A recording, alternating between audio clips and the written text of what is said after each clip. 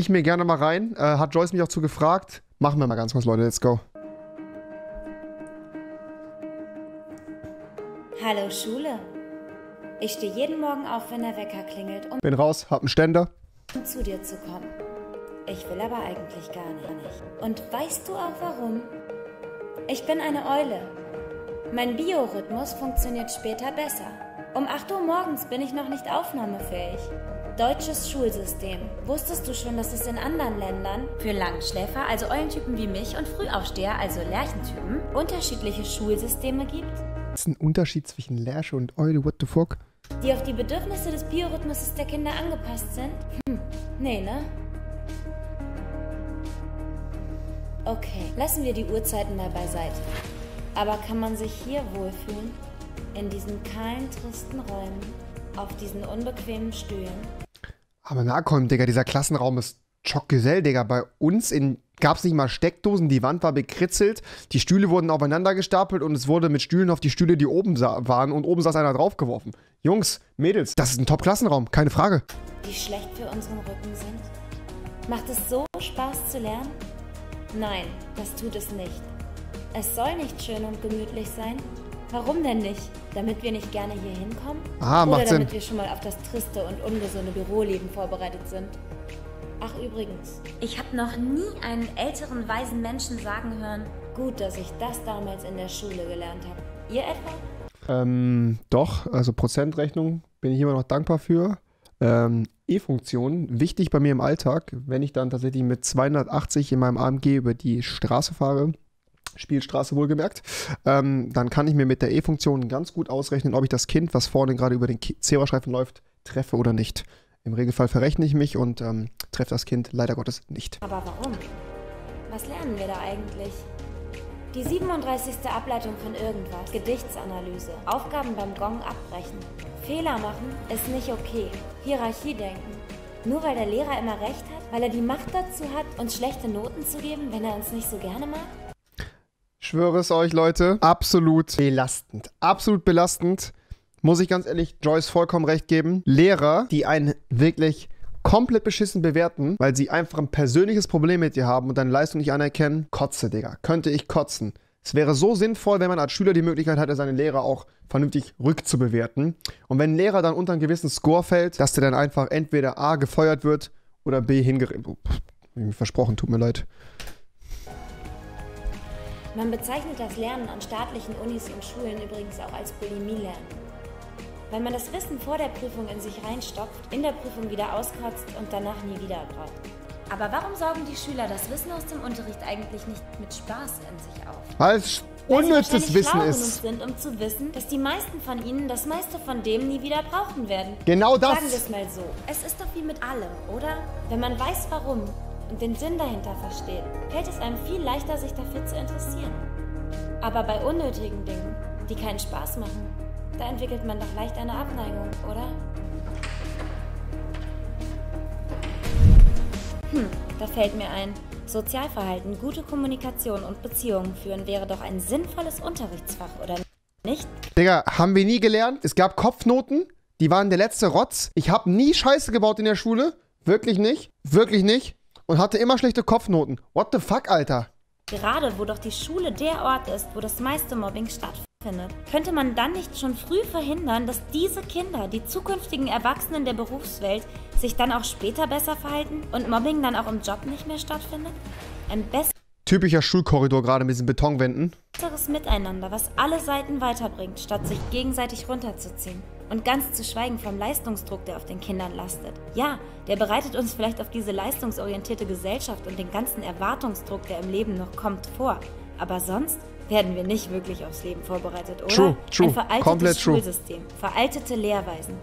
Oh, Digga, geile Metapher. Sie sagt veraltetes Schulsystem und was sehen wir? Diesen verfickten Overhead-Projektor, der nie funktioniert hat. Arme Narcoim, Digga. Wir leben in 2019 mittlerweile und den Schulen stehen immer noch Overhead-Projektoren. Das ist so ein schönes Sinnbild für unser gottverdammt berotztes Schulsystem, Alter. Und apropos veraltet, manche Schulen haben bereits das brandaktuelle Thema Social Media auf dem Schirm. Aber wisst ihr was? Lehrer fragen mich, was sie da unterrichten sollen, denn sie selbst haben keine Ahnung von dem Fach, das sie da lehren. Sie haben selbst gar kein Instagram und Co., wissen nicht, wie es funktioniert. Wie sollen sie da den Schülern den richtigen Umgang beibringen? Die Schüler von heute sind die Zukunft von morgen. Sollten sie nicht alle Werkzeuge an die Hand bekommen, um nicht nur ihre, sondern unser aller Zukunft besser machen zu können? Oder ist dem System das nicht wichtig? Interessant, dass Albert Einstein sagte, Education is what remains after one has forgotten what one has learned in school. Verstehe ich nicht, ich war nicht in der Schule, was, was das nicht Deutsch, weiß ich nicht. Was macht Menschen wirklich glücklich und erfolgreich? Sollte da nicht der Fokus drauf liegen? Die Schule sollte die Basis fürs Leben darstellen, das Fundament des Wissens, was wir brauchen für später. Und doch ist sie es nicht. Kann das so schwer sein? Was macht denn unsere Zukunft besser? Selbstdenkende, selbstverantwortliche, glückliche, liebevolle und erfolgreiche Menschen. Aber dahin ist es noch ein weiter Weg. Oder will uns das System gar nicht dahin führen? Wusstet ihr, dass es mittlerweile hatte ich auch eine richtig krasse Unterhaltung mit einem Kollegen letztens drüber. Auch eben noch mal kurz mit meinem Friseur, ähm, dass das Schulsystem Letztens sogar, what the fuck, mit meinem Dönermann, Alter. Ich gehe mir immer so Salatdöner holen, Salattasche. Chock, Kuss an Mehmet an der Stelle. heißt einfach wirklich so.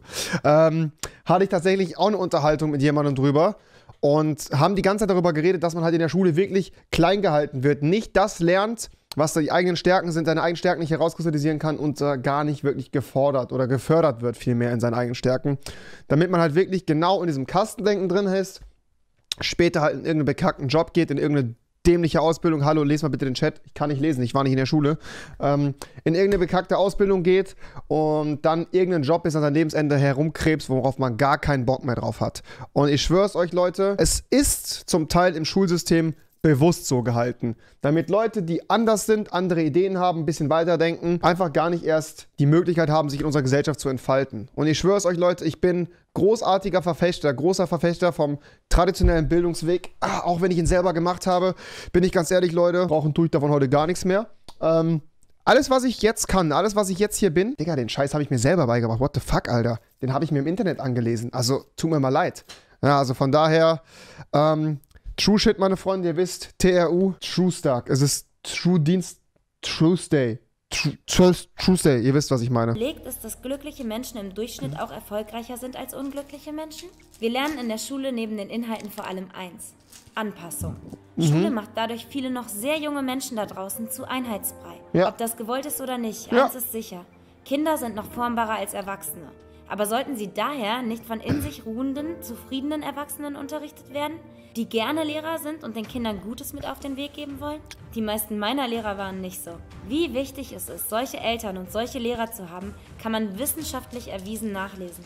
Und doch legt die Schule keinen Wert auf diese Art der Wissensvermittlung. Wir wollen keine unzufriedenen, unfairen oder cholerischen Lehrer mehr, die lustlos ihr jahrealtes Programm in der neuen Klasse wieder runterrattern denn sie schaden uns mehr, als dass wir von ihnen lernen. Auch so ein Ding, wenn ich als Lehrer natürlich das dritte Schuljahr in Folge den dritten Brei in der anderen Klasse durchkaue, zu der ich jedes Mal, jedes Schuljahr zu Beginn eine andere, eine neue Beziehung aufbauen muss. Ganz ehrlich, das macht man viermal und dann hat man keinen Bock mehr drauf. Dann hat man einfach keinen Bock mehr drauf.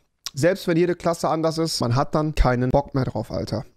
Und ganz ehrlich, Leute, ein Großteil der Lehrer, wie viele von euch, wie viele von euch kennen das, dass die Lehrer komplett depressiv, cholerisch, überfordert, nicht ausgeschlafen, äh, sozial inkompetent wirken? Das ist, das ist ja wirklich, das ist ja wirklich, das ist ja wirklich schon fast ein Muster. Wisst ihr, was ich meine? Das hatte ich früher schon und ich schwöre es euch, Leute, es hat sich bis heute kein bisschen geändert. Es gibt zu wenig Lehrkräfte, weil der Beruf des Lehrers immer noch viel zu schlecht bezahlt wird in diesem Land, weil Lehrer noch nicht, äh, immer noch nicht rückverbeamtet werden, beziehungsweise verbeamtet werden, den Sozialstatus erhalten, den sie bekommen müssen. Denn Lehrer sein ist ein verfickt harter Beruf, Mann. Lehrer sein ist geisteskrank hart.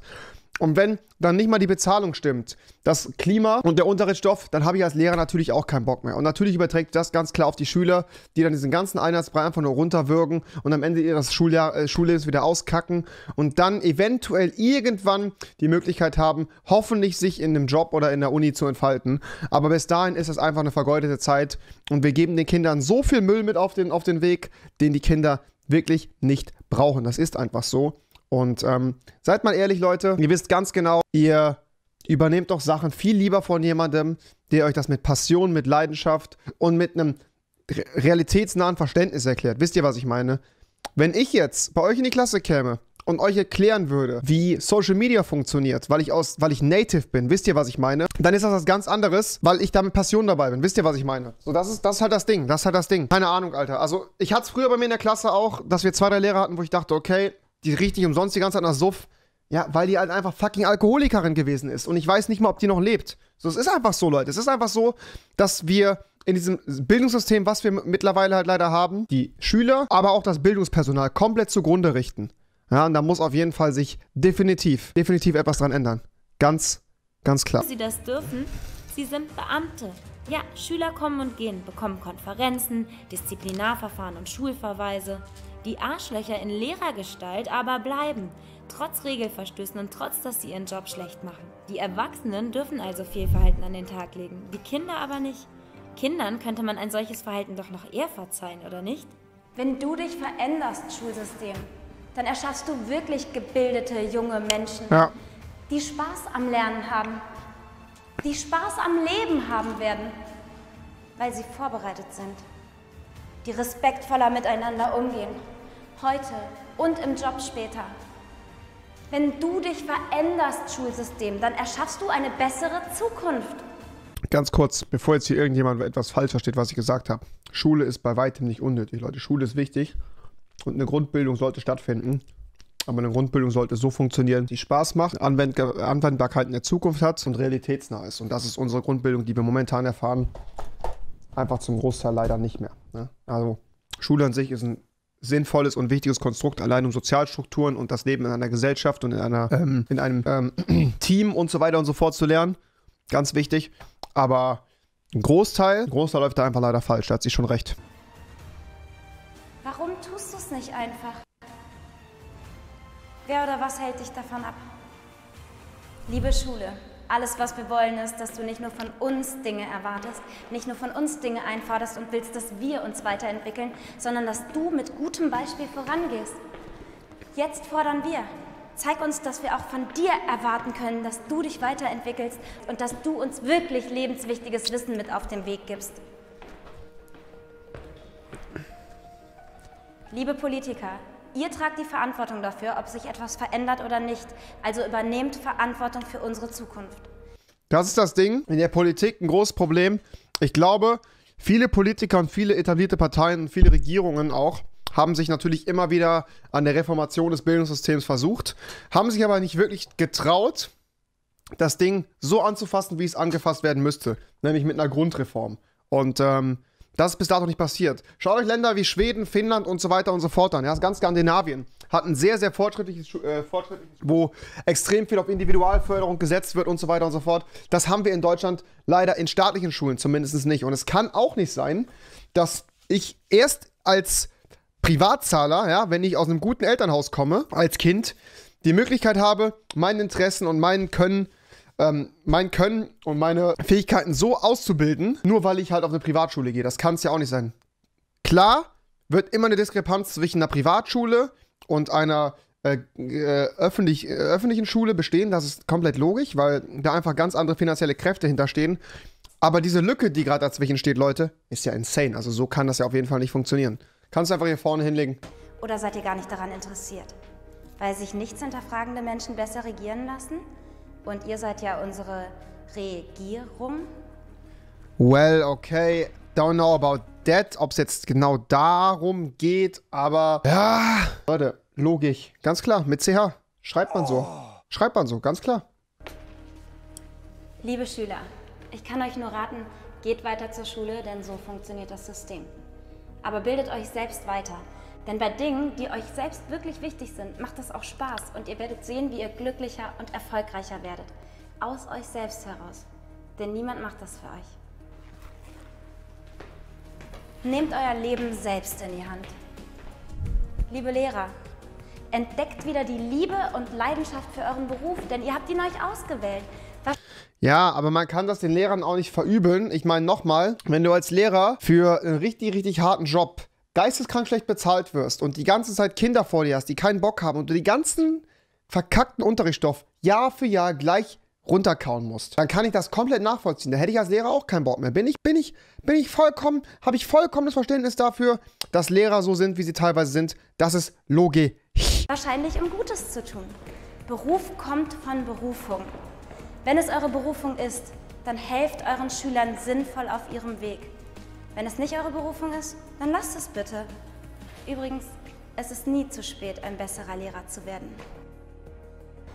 So vieles, was ich heute weiß, hätte ich so gerne früher gewusst.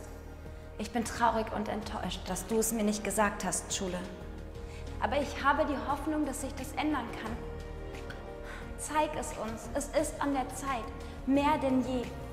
Denn durch den technologischen Fortschritt entwickelt sich alles so rasant schnell.